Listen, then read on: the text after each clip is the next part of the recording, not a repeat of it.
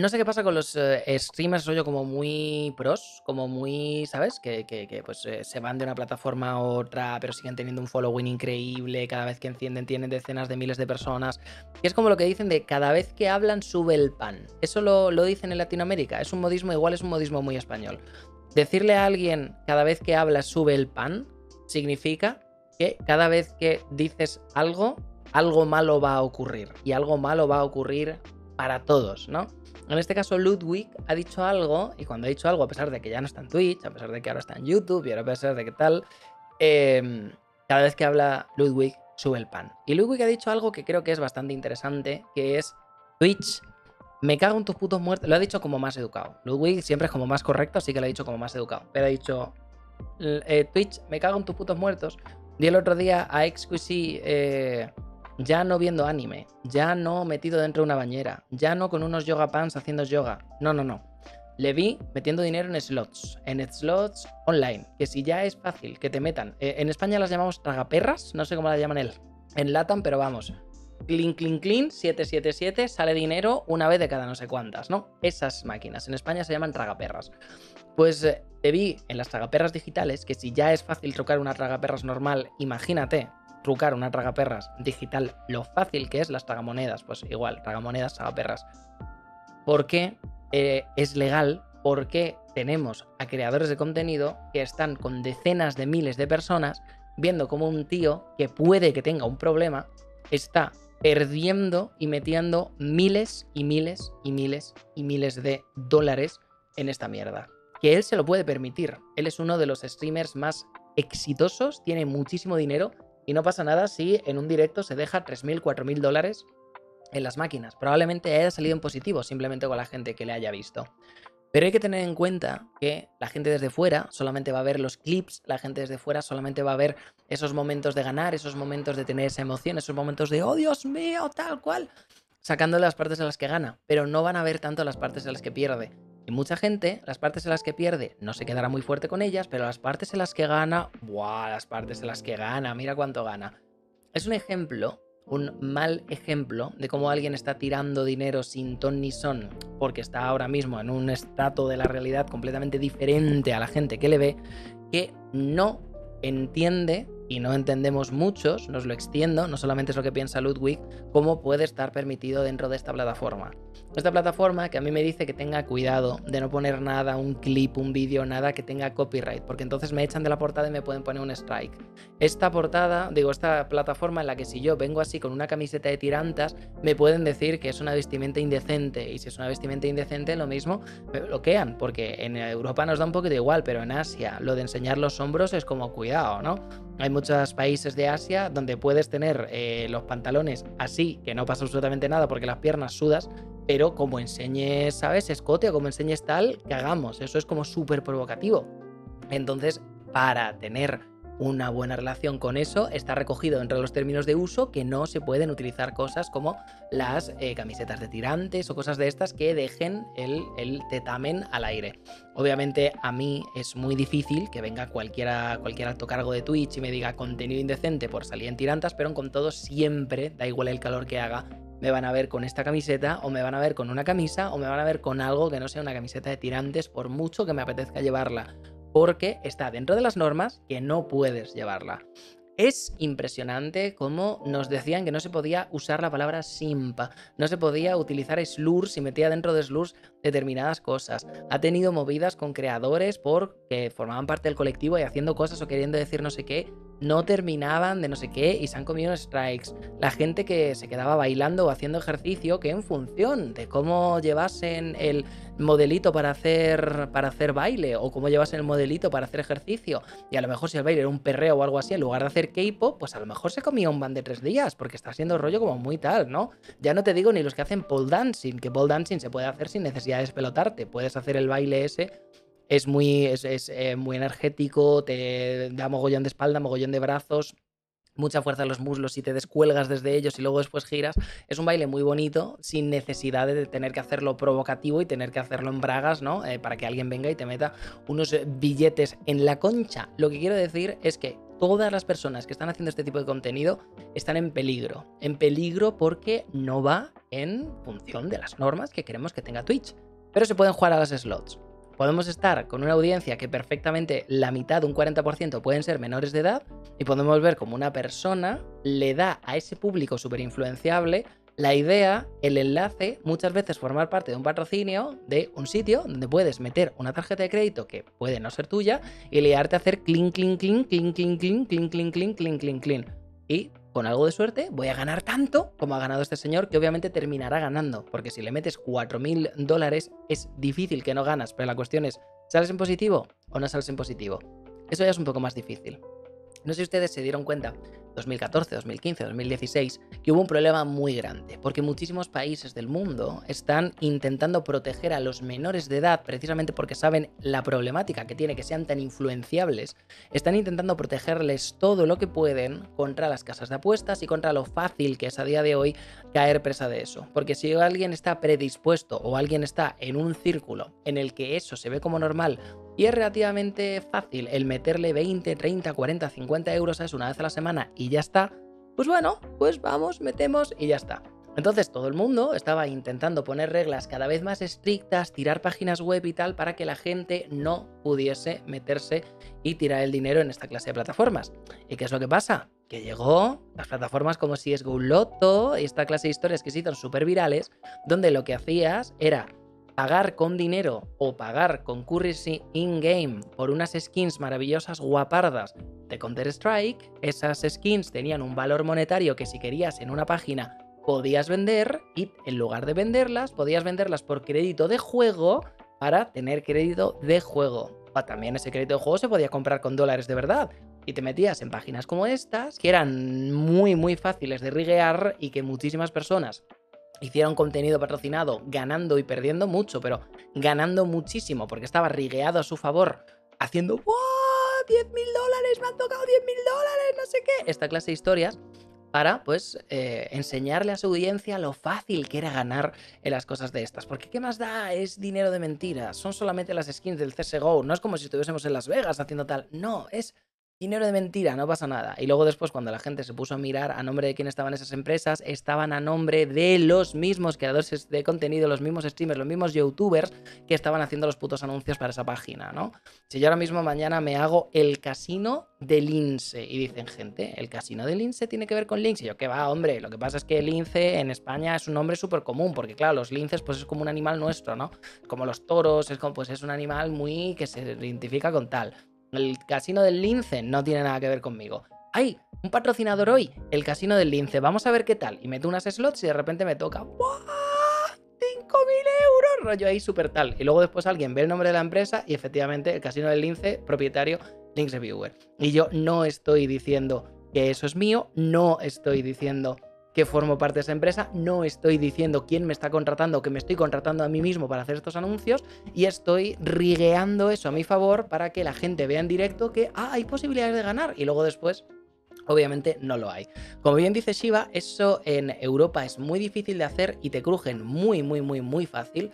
Porque, pues bueno, no sé si ustedes recuerdan que cuando hicieron lo de las loot boxes para el Battlefront, desde Europa y desde Australia fueron de donde más se empujó la idea de quitarlos porque, coño, era ludopatía. Literalmente metías dinero y salían skins de Star Wars o cosas para el juego. Pero dijeron, esto es puta ludopatía. Y lo quitaron y ahí hubo la reseña con... O sea, el problema con las loot boxes, increíble. Tuvimos que luchar contra las putas loot boxes y ganamos entre comillas.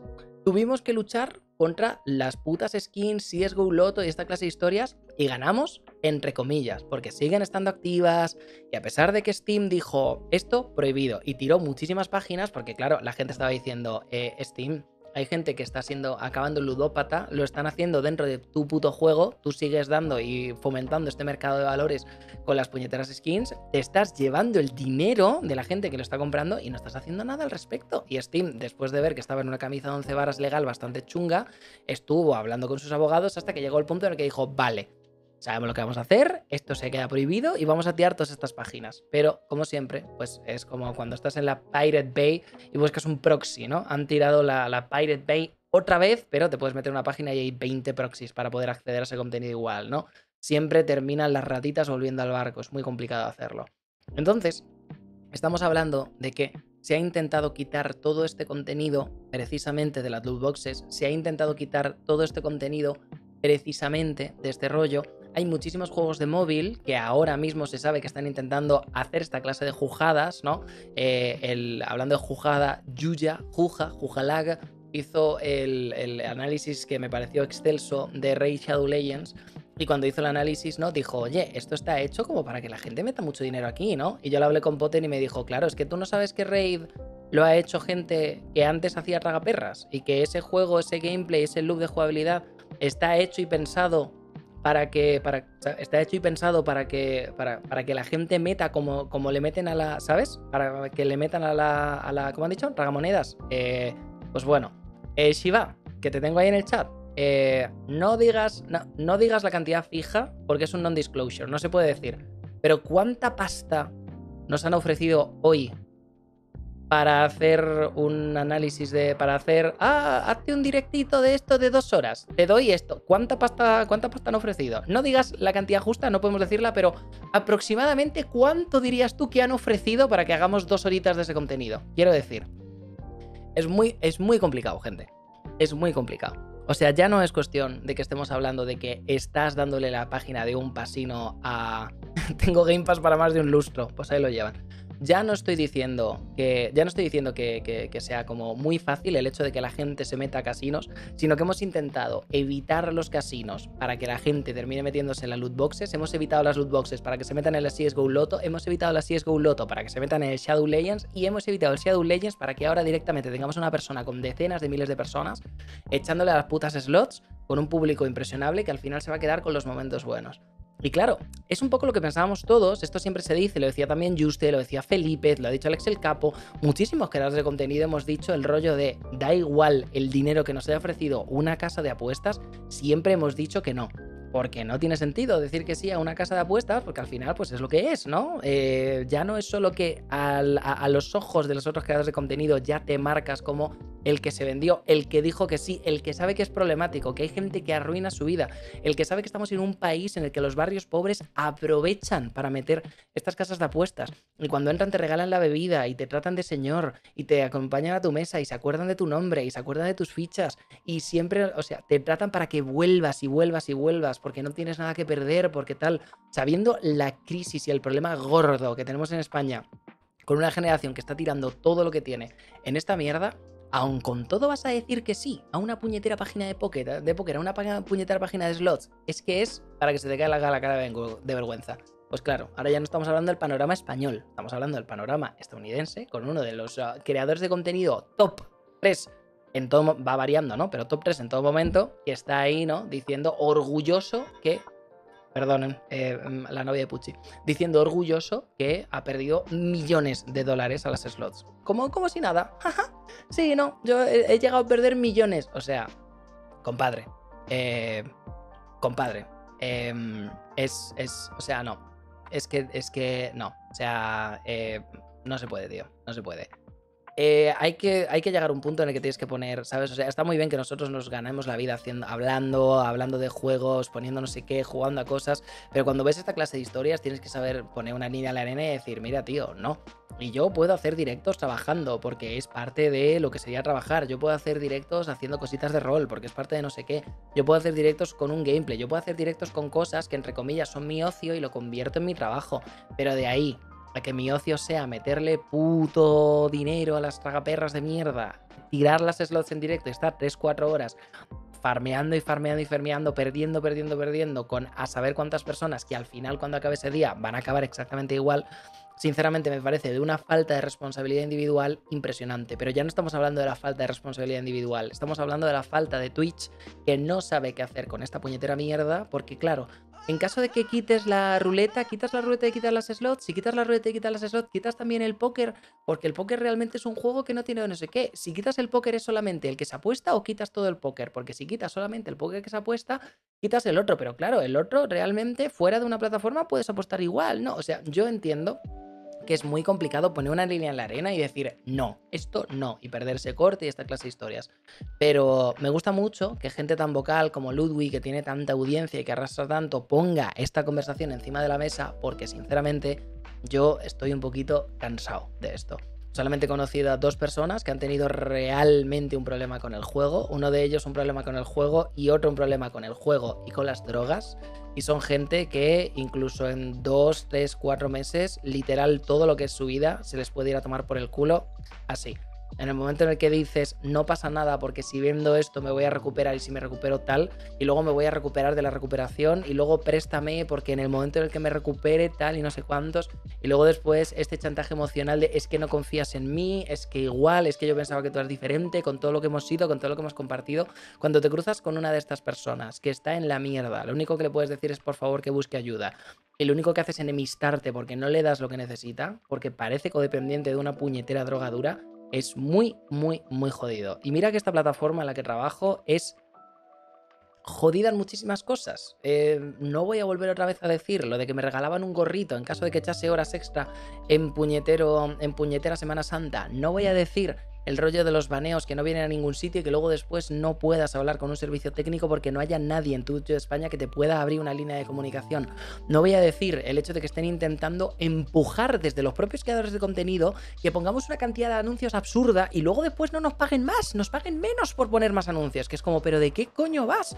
O sea, yo he estado dos meses reventándole a la gente con putos anuncios, a lo mejor poniendo 10, bueno, 10 minutos, no, 8 minutos de anuncios por hora cada 12 minutos, 2 minutos y medio de anuncios por hora, porque se supone que era el incentivo que me ibas a dar para intentar recuperar un poco. Y me has pagado menos de anuncios que cuando pongo, yo qué sé, un minuto y medio cada 22 minutos. O sea, me has pagado menos dinero poniendo el doble de anuncios. Pero de qué va. O sea, Mira que hay cosas que odio y que no comprendo de esta puñetera plataforma. Pero de verdad que con diferencia la que me da más puto asco es que no haga nada cuando tenemos un contenido que sabemos que es nocivo y sabemos que literalmente está empujando a muchísima gente a tirar su vida por la borda. Y aún con todo, pues sigue ahí. Gente que súper top jugándolo todos los días, gente lo puedes encontrar en todos los idiomas y pues bueno, a ver qué hay. A echar unas slots, como si estuviésemos en el bar. No lo sé. Espero que, espero que ni que sea el volver otra vez a poner la conversación en la mesa, el que eh, gente con esa responsabilidad como puede ser Ludwig, que a ver, lo puedo decir yo, pero yo soy un matado que tiene ahora mismo, ¿cuánto? bueno, 600 personas porque estamos en portada, pero si estuviésemos en portada serían 300 y algo. Yo soy un matado que tiene 300 y pico personas, que luego después lo resube y lo ven 15.000. ¿Sabes lo que quiero decir? Ludwig es alguien que pone un tweet y a saber cuántas millones de impresiones tiene eso, ¿no? Entonces, el que él diga, el que él hable, el que él vuelva a poner encima de la mesa para que se hable, para que se discuta, para que se exija y para que se pida que algo como esto, si no se puede borrar ni que sea, se regularice y sea solamente streams, que X, que tengas que tener la cuenta para mayor 18, que tengas que confirmar la identidad en caso de que seas uno de estos países, que tienes que confirmar la cuenta con no sé qué, como por ejemplo en Corea, que tienes que meter el DNI si quieres jugar más de un número de horas, tal cual ni que sea que se ponga lo mismo, igual de dura, vamos a decir, que lo que se pondría de duro un bar o lo que se pondría de duro una caja de apuestas en caso de que entrase un menor o entrase alguien que no confirmase su identidad o realmente tuviese un problema con el juego. Que es el mínimo que se le puede pedir a la ley española, la ley colombiana, la ley mexicana, la ley estadounidense o la ley del país que sea para que la gente, mm, si pueden divertirse con esto hay gente que ha ido, hay gente que tal, hay gente que tal, lo haga, pero que no tire su puñetera, por su puñetera vida por la borda. No podemos, como creadores de contenido, como plataforma, ser enablers de algo tan jodido como es esto. Y sinceramente, no, o sea, no, no tengo, no tengo la sensación de que estén haciendo suficiente al respecto. Eh, llevo muchos días sin poner aquí una puñetera, una puñetera pole. Perdónenme que no ponga poles, pero es que ¿qué voy a poner hoy? ¿Estás a favor de que la gente juegue a las tragaperras en Twitch para que se puedan meter menores? Coño, como digas que sí, a lo mejor te tengo que puto banear, ¿sabes lo que quiero decir? Tú puedes ser muy de derecha, yo puedo ser muy de izquierda. Si podemos hablar de algo rollo cultural en los videojuegos y tener nuestras diferencias.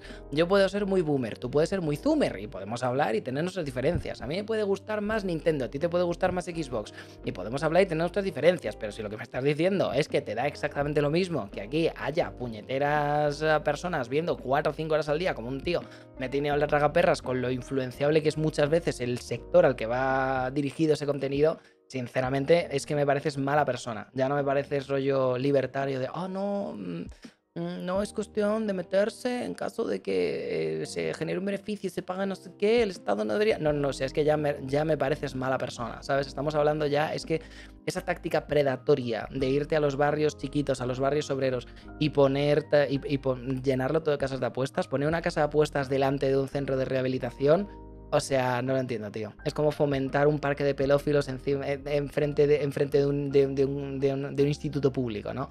Es ya, de ser, es ya de ser mala persona. Así que, pues bueno, simplemente está muy bien. Gracias, Ludwig, por poner un poquito la conversación en el centro de la mesa, porque al final siempre está bien para que se escuche, ni que sea, aunque luego no hagan nada, ni que sea para que se escuche y concienciar un poquito, porque al final es, es lo que es. Estoy en eh, Suecia ahora mismo mientras están escuchando estas palabras, gente, así que eh, volveremos la semana que viene. Perdónenme que esta semana solamente haya habido dos minicas en lugar de tres, pero si les apetece he subido tres partidas de rol en el tercer canal. Si les apetece, pues hemos jugado una con puto Mikel, pueden echarle un vistazo, se puede consumir perfectamente solo esas tres partidas, no hace falta verse las 40 de antes, eh, son como una línea de one shots, así que realmente pueden verlo sin problemas. Y hemos empezado una de Runa Terra, hablando de drogas. ¿Recuerdan el League of Legends? Claro, como lo van a recordar, son incapaces de no echarse otro 8, 8 rankeds al día y tiltearse, pues en caso de que quieran tener algo de fondo. Mientras juegan League of Legends, acabamos de empezar una partida de Dungeons and Dragons basada en el mundo de Runaterra, así que si quieren verlo, es divertidísima, tenemos gente que lo hace súper bien, está jugando Master Pifias, que es un rolero que lo hace súper bien, eh, La Mansión del Dragón, otro rolero que lo hace súper bien, Jin Jin, que es un poco la maldición, eh, si a League of Legends probablemente les suene su nombre, eh, que es un poco la maldición, siempre que le invito a una partida de rol termina pinchando, pero tengo fe en que esta va a salir, y la señorita Rouza, la Rose, que mi chica, mi novia, la luz de mi vida, ha querido acompañarme en esta aventura del, rolete y quiero que se lo pase muy bien. Está ya liberada, nos lo hemos pasado en grande y pues es contenido en el que pueden munchear entre que venimos con más minicast y no venimos con más minicast. El domingo de esta semana volveré de un viaje. Estoy convencido de que tendré podcast de desgracias porque ya he empezado desde una semana antes las desgracias antes de y con algo de suerte se lo subiré el lunes de la semana que viene y espero que lo disfruten muchísimo. Muchísimas gracias por venir, les deseo una buena noche, buena tarde, buena mañana en función de cuándo estén eh, dando esto y coméntenme en los comentarios ni que sea para cagarse en los muertos de alguien porque quieras que no, ayuda mucho que luego después la gente pinche en el vídeo y luego después podamos llegar con este mensaje que creo que es importante a más gente. Muchísimas gracias y nos veremos.